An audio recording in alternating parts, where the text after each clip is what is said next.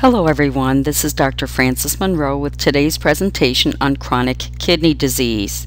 This slide presentation is based on a comparative effectiveness review, CER, or systematic review entitled Chronic Kidney Disease, Stages 1 to 3, Screening, Monitoring, and Treatment, which was developed by the Minnesota Evidence-Based Practice Center for the Agency for Healthcare Research and Quality, AHRQ.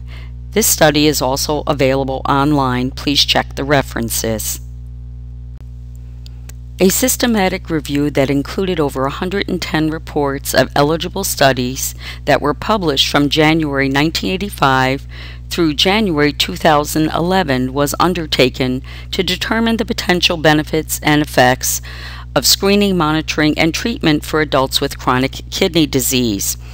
Data sources were taken from searches of Medline and the Cochrane database of systematic reviews uh, from 1985 through 2011. Manual searches of reference lists of identified systematic reviews and primary reports were also included. This presentation will also give you an overview of chronic kidney disease, available treatment options, clinically important questions, and a summary of the conclusions regarding the effectiveness and harms of screening and treatment. We will also look at gaps in the knowledge base and what providers should discuss with patients regarding the treatment of chronic kidney disease. Throughout this slide presentation, uh, you will see strength of evidence ratings that are assigned to different findings of the report. The strength of evidence is usually assigned to reviews of medical treatments after looking at four domains, uh, the risk of bias, consistency, directness, and precision. Again, this graph and chart shows you a review of each of those uh, four broad ratings. So let's look at the public health impact uh, from chronic kidney disease. It's estimated that almost 27 million adults in the United States have chronic kidney disease, which is almost 12% of the population. This is according to the National Health and Nutrition Examination Survey NHANES data uh, through uh, 2007. The prevalence of chronic kidney disease is rising for every stage, with more than 500,000 Americans receiving uh, dialysis or treatment for end stage chronic disease in 2007.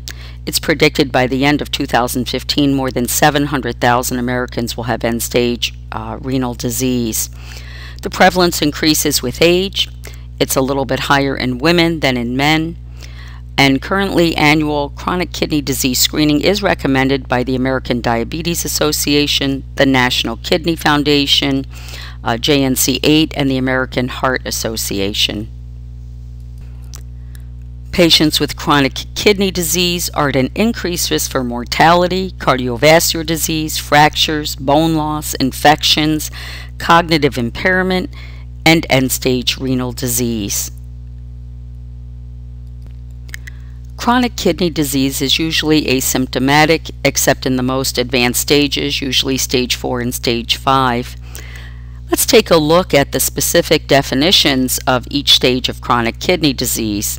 As you can see by the slide, stage 1 is considered uh, kidney damage with a GFR greater than 90 mLs. Stage 2 uh, talks about a mildly decreased GFR of between 60 to 89 mLs per minute. Stage 3 is broken into Stage 3A and B, GFR 45 to 59, GFR 30 to 44. And then we get into Stage 4 with a severely decreased GFR 15 to 29, and then kidney failure or dialysis with a GFR less than 15, usually treated by either dialysis or transplantation. Chronic kidney disease can be caused by primary kidney diseases such as glomerular diseases, obstruction, or polycystic kidney disease. But in most patients with chronic kidney disease, the kidney damage is associated with other comorbidities such as diabetes and hypertension. Other risk factors uh, for CKD include uh, older age, history of cardiovascular disease, certain ethnicities such as African American, Native American, Hispanic, and a family history of chronic kidney disease. The National Health and Nutrition Examination Survey uh, looked at the prevalence of diabetes among individuals uh, with and without chronic kidney disease, and it did increase um, to over uh, 24% among individuals uh, with diabetes. If they looked at hypertension, almost 64% of patients with chronic kidney disease in stage 3 uh, suffered from hypertension. So the prevalence of comorbidities was much higher uh, in the population of diabetics and hypertensive patients and the older Medicare population. A thorough initial investigation for the evaluation of chronic kidney disease includes determining the causes and type of disease and evaluating for comorbidities. The patient's medical history, family history, physical exam, vital signs including blood pressure and weight measurements are the most valuable parts of the CKD evaluation. Laboratory tests should include measurement of serum electrolytes and glucose, fasting lipid panel, and a urinalysis should be performed to evaluate uh, for the presence of albumin, creatinine, and uh, measure the protein creatinine ratio. Additional testing may be required to look at rare causes of CKD, and renal ultrasound is recommended to evaluate kidney size and assess for any possible structural abnormalities, including the presence of tumors, stones, or cysts. Chronic kidney disease is usually detected by measuring serum creatinine levels in order to calculate the GFR and by measuring the urinary albumin creatinine ratio to detect proteinuria. The most common causes of CKD are diabetes and hypertension, but the disease can be caused by other conditions. Uh, urinalysis can detect signs of glomerulonephritis, tubulointerstitial disease, vasculitis, hereditary nephritis, and lupus, but it's usually not recommended in otherwise healthy patients. The GFR is the best measure of kidney function, and the normal GFR varies by age, sex, and body size. A GFR less than 60 mLs per minute represents a loss of at least one half of normal kidney function, and below this level, there's an increased prevalence of chronic kidney disease complications.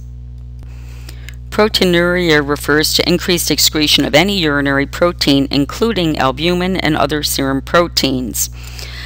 Urine dipstick testing, however, is insensitive for the measurement of small amounts of albumin and is not recommended for chronic kidney disease screening in patients at risk. Patients with a positive urine dipstick result should repeat the test in the absence of any UTI, ketosis, or hypovolemia. If the second test result is positive, then the urinary protein creatinine ratio should be obtained within three months. Persistent proteinuria can be diagnosed by two positive protein creatinine ratios one or two weeks apart. Let's take a look at some of the factors that impact the potential benefits of screening adults for CKD in the early stages.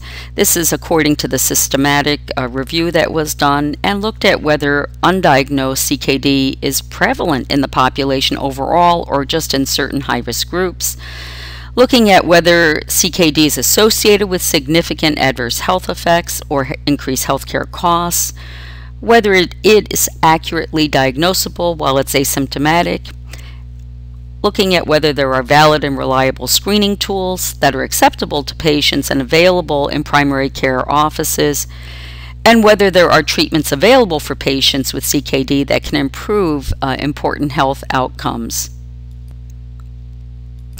The Comparative Effectiveness Review, or CER analysis, looked at different treatment options for adults with chronic kidney disease, stages 1 to 3, and the review was restricted to randomized controlled trials that enrolled adults uh, in this study. They looked at treatment using ACE inhibitors, ARBs, calcium channel blockers, beta blockers versus diuretics, different diets, and multi-component interventions. Studies were examined that compared active treatment of patients with CKD uh, with placebo and included combination treatment and comparisons with the same active treatments using different dosage levels or targeting different treatment thresholds. The review was restricted to studies that reported clinical outcomes. The primary clinical outcomes that were studied included reducing mortality and incident of end-stage renal disease, some secondary clinical outcomes that were studied included uh, the risks of cardiovascular complications, including MI, stroke, and congestive heart failure, along with quality of life issues. Intermediate outcomes include uh, reducing the incidence stage 4 of chronic kidney disease, doubling of creatinine, and halving of the estimated uh, GFR the greatest emphasis was placed on the primary outcomes of mortality and end-stage renal disease. Some of the questions that this systematic review also looked at were the benefits and potential adverse effects of screening for CKD. wanted to know is there direct evidence that screening is associated with improved outcomes and are there any potential harms that are associated with systematic CKD screening? They also looked at the benefits and harm related to effects of monitoring for CKD. Is there any evidence that monitoring can worsen kidney function or kidney damage? Uh, and does it improve clinical outcomes? What are potential harms associated with ongoing monitoring for worsening kidney function and disease? So let's look at the uh, group treated with ACE inhibitors. In patients with overt proteinuria, diabetes, hypertension, ACE inhibitors did decrease the risk of end-stage renal disease by 40% versus placebo, and uh, the strength of evidence was moderate. However, in patients with stage 1 through 3 kidney disease and only having microalbuminuria or impaired GFR, ACE inhibitors did not significantly reduce the risk for end-stage renal disease when compared to placebo.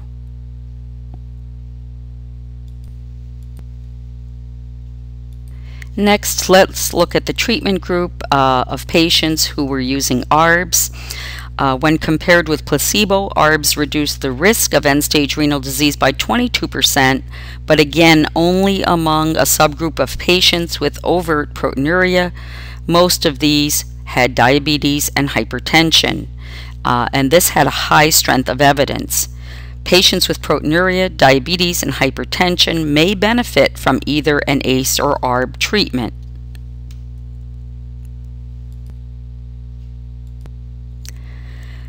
The clinical bottom line, uh, looking at risk for end-stage renal disease in patients screened early on, uh, shows that there was not a significant difference between these comparisons. Uh, beta blocker versus placebo, calcium channel blocker versus placebo, calcium channel blocker versus beta blocker, statin versus control, uh, strict versus standard blood pressure control, low protein diet versus a normal diet, and a low carb, low iron uh, enriched diet versus a low protein diet. Looking at the risk for mortality in patients with CKD early stages treated with either ACEs or ARBs, the risk for mortality was not significantly different for these comparisons. ACE versus placebo, ARB versus placebo, ACE versus ARB, calcium channel blocker or beta blocker, um, ARBs versus calcium channel blocker, and again, different combinations of ACEs and ARBs uh, with diuretic.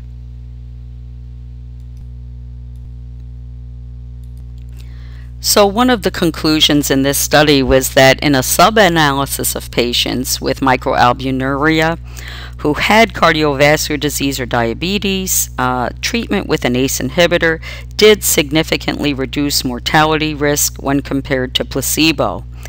The relative risk reduction was not significantly different in similar patients who did not have microalbuminuria. Patients who have this problem and were at high risk for cardiovascular complications may benefit from ACE inhibitor treatment at adequate doses, and this had a strength of evidence that was moderate.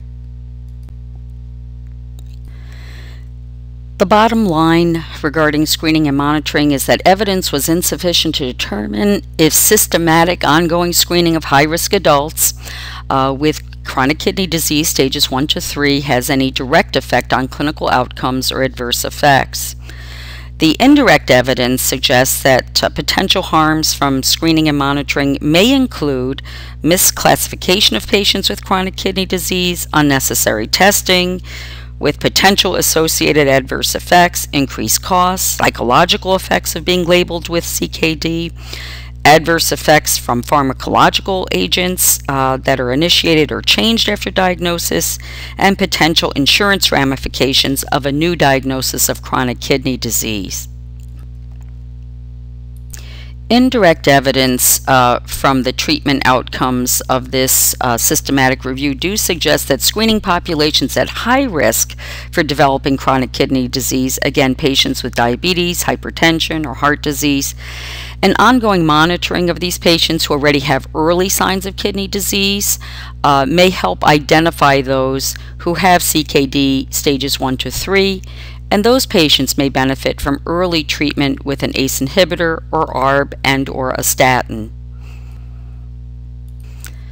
So conclusions of this systematic review again are that patients with early uh, chronic kidney disease with overt proteinuria who have diabetes, hypertension, um, and ACE or ARB will reduce their risk of end-stage renal disease.